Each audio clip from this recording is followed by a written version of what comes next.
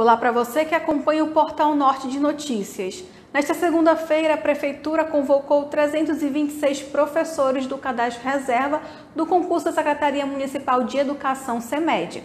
Por conta do isolamento social, o atendimento será online.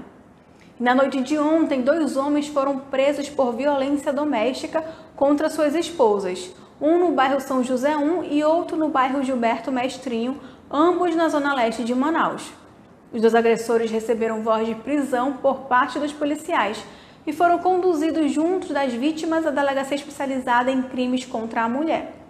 E agora vamos às atualizações da Covid-19. Mais 297 amazonenses se recuperaram da doença.